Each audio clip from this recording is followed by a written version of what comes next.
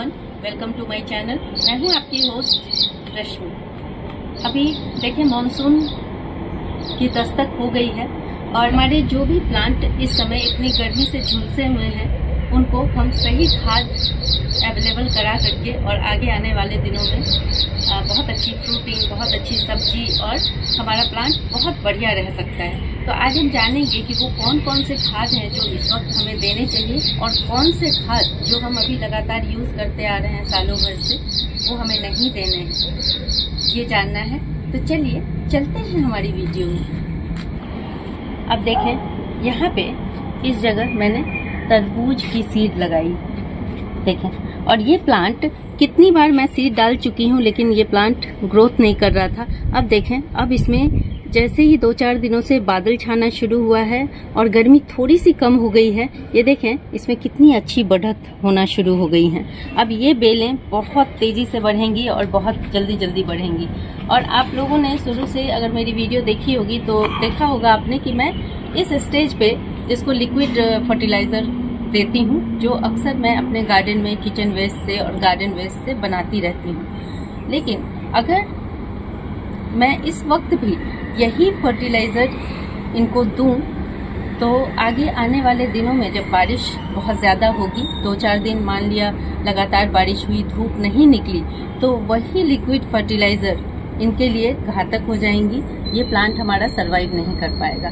और देखें प्लांट अभी छोटे कंडीशन में है। इस स्थिति में अगर हमने और इस तरह के काम किए तो हमारा प्लांट सरवाइव नहीं कर पाएगा। तो इसी वजह से कहा जाता है कि जब हम गार्डनिंग करते हैं तो हर टाइम और गार्डनिंग करना भी, ज़मीन में गार्डनिंग करना और प्लांटर में प्लांट लगाना दो अलग अलग चीज़ें हैं। अगर हम छत पे गार्डनिंग करते हैं बालकनी में करते हैं तो हमें बहुत सारी बातों का ध्यान रखना पड़ता है और तकरीबन हर सीज़न में हमें इन बातों का ध्यान रखना पड़ता है।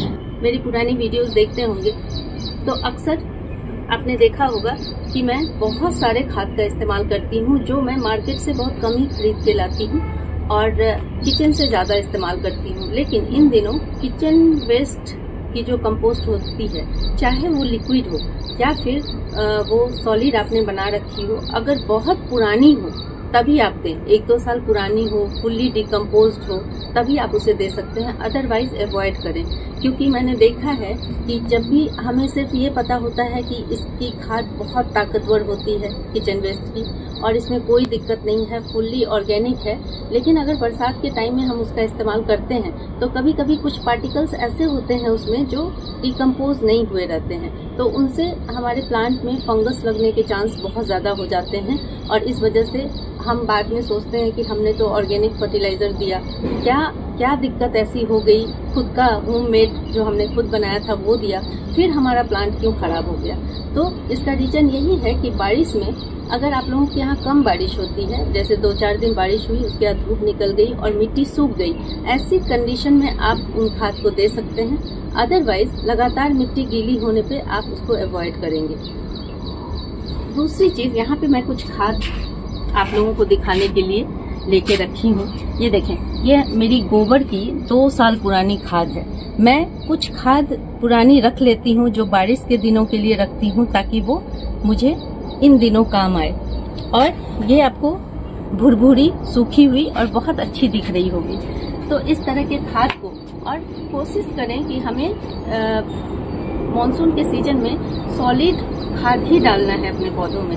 किसी भी तरह के लिक्विड खाद को आप ना दें। कोशिश करें कि आप उसे प्लांट में नहीं देंगे। और ये देखें, सरसों की खली। अभी जितनी भी बेल वर्गीय सब्ज़ियाँ हैं मेरे गार्डन में, अभी आप लोगों को दिखाऊँगी, वो धीरे धीरे रिकवर होना शुरू हो गई हैं।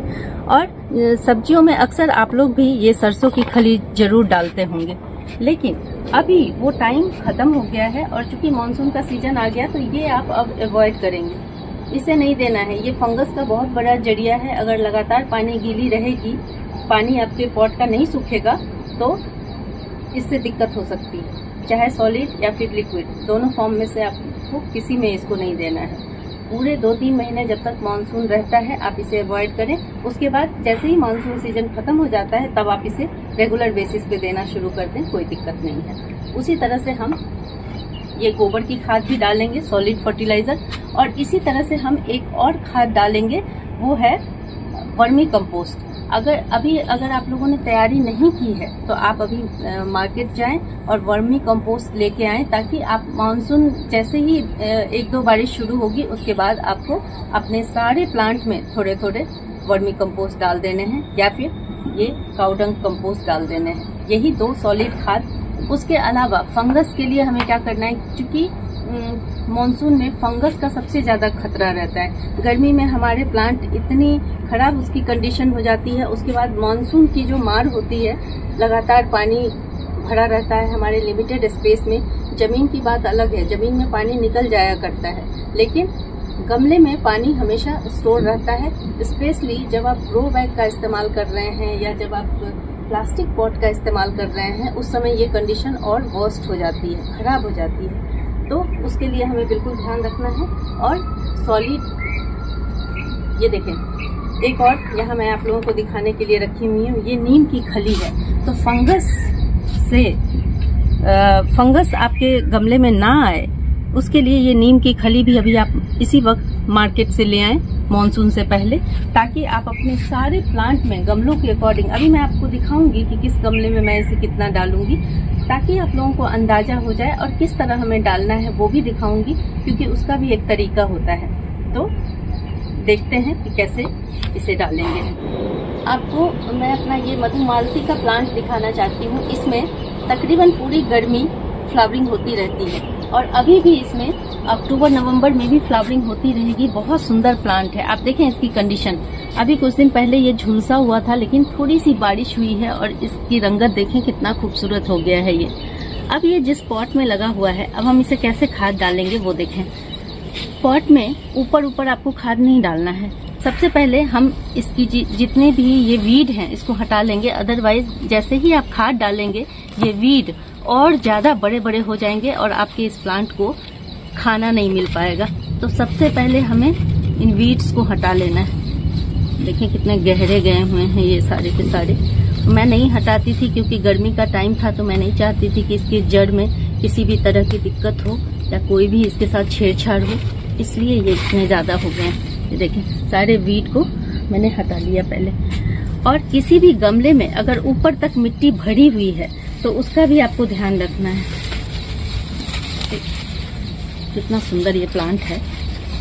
ये देखें, मेरे, आप देख रहे होंगे इस गमले में एक इंच मिट्टी खाली है, लेकिन बारिश में आपको थोड़ा सा और ध्यान रखना होगा। कि जैसे ही बहुत तेज बारिश आती है तो आपकी ये सारी मिट्टी ऊपर की निकल जाएगी बारिश की बूंदों से। इसलिए हमें जिस, जिन गमलों में मिट्टी ऊपर तक भरी हुई है, उसको एकदम ठीक कर लेना है, मिट्टी को कम कर ले, निकाल करके, और इस तरह से खाद देने से पहले, सबसे पहले इसकी गुड़ाई कर लेनी है। उसके बाद किनारे किनारे से हमें मिट्टी को उठा लेना है इस तरह से, ऐसे।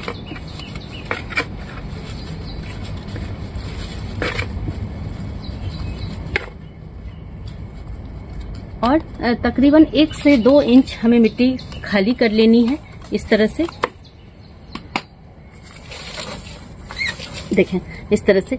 और हमें नीचे देना है। ये जो भी हम फर्टिलाइज़र डालेंगे, वो हमें नीचे देना है ताकि जब भी बारिश के पानी से हमारा वो बह के ना निकल जाए। हम ऊपर ऊपर डाल देते हैं। जब बहुत तेज बारिश होती है तो यूजलेस हो जाता है। सारी ऊपर की मिट्टी बह जाती है। और हमारे प्लांट को कुछ नहीं मिल पाता। इसलिए हम इस तरह का तरीका अपनाएँगे। और देखें, मेरे प्लांट के अकॉर्डिंग चूँकि ये जो मेरा पॉट है, वो तकरीबन 12 इंच का है, इसलिए मैं इसमें दो मुट्ठी ये काउडंग कंपोस्ट डालूँगी। बस, इतना काफ़ी है। फिर हम एक महीने बाद इसमें डालेंगे, ताकि अगर लगातार बारिश से इनमें, इससे लीचिंग भी होती है, नीचे से निकल भी जाता है पानी तो भी हमारे प्लांट में कुछ ना कुछ रह जाए। इसलिए हमें एक टाइम निश्चित कर लेना है 20 दिन में या एक महीने के अंतराल पे हम इसमें इस तरह का सॉलिड फर्टिलाइज़र मानसून में देते रहें क्योंकि तीन महीने बारिश रहती है तकरीबन। और इसके बाद इसके साथ ही हमें ये नीम खली दे देना है। ये देखें कितना देती हूँ मैं वो भी आप जानना ज़रूरी है। भर के इस, इस फर्टिलाइज़र को आप भर के नहीं डालेंगे। ये फंगस जितने भी आपका पानी की वजह से मिट्टी में जितने भी रोग लगेंगे, उसकी रोकथाम करने के लिए बहुत कारगर होता है ये नीम की खली। तो नीम की खली इतने 12 इंच के पॉट में और इस तरह के, इस तरह का जो आप देख रहे हैं, तकरीबन एक साल पुराना मेरा मधु मालती का प्लांट है।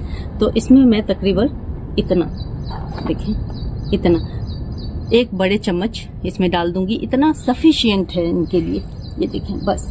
और ये हमें एक ही बार डालना है, बार बार डालने की ज़रूरत नहीं है। और इस तरह से हम मिट्टी को कवर कर देंगे। ऊपर ऊपर बिल्कुल ना डालें, नहीं तो उससे कोई फ़ायदा नहीं होगा हमारे प्लांट्स को। और इस, ये बहुत अच्छा टाइम है कि वीड आप अपने सारे गमलों की निकाल लें। अदरवाइज़ प्लांट को कम और आपकी वीड और ज़्यादा तेज़ी से बढ़ेंगे और फिर आपका इतना मेहनत करना बेकार हो जाएगा। यहाँ पे देखें, मैंने काफ़ी दिनों से बना के लिक्विड फर्टिलाइज़र रखा हुआ है। यहाँ देखें। यहाँ पे गोबर की खाद गोबर गोबर के उपले रखे हुए हैं और इसमें कुछ सरसों की खली भी रखी हुई है। लेकिन इन सबको आप भी बना के रख लें, क्योंकि जैसे ही मानसून खत्म होगा, उसके बाद हम ये लिक्विड फर्टिलाइज़र डालना शुरू करेंगे, जब धूप होने लगेगी और मानसून का मानसून चला जाएगा।